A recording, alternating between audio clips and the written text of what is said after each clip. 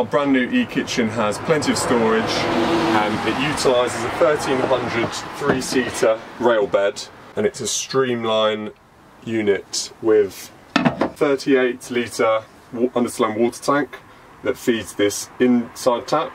And we've got a shower outlet on the back with a top loading fridge as shown there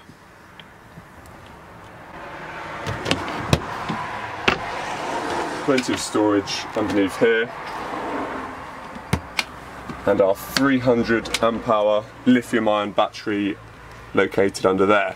Right next to our 2.2 kilowatts inverter with RCD protection that runs through a consumer unit. Diesel heater feeding through there. More drawers and storage here. Top loading flush design there which goes all the way down to the floor and 12 volt sockets here. This unit is fed from the inverter which can be used completely off grid, it's 240 volts. This one is when you're on mains hookup. We've got more overhead storage above, tray that runs all along there, our diesel heater control unit up there. Van shaped blinds all the way round so I've plugged in our induction hob, which is just our test unit here. Um, and you can do all your cooking on that. You could also plug in your hairdryer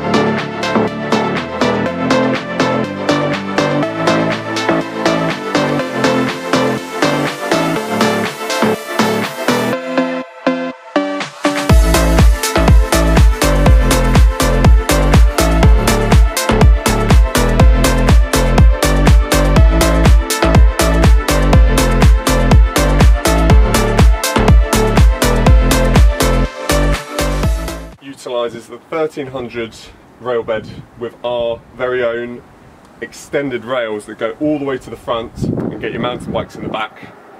Um, as you can see we've got our 315 watt solar panel on the roof, our Thunderdor system, an extra cupboard space down there.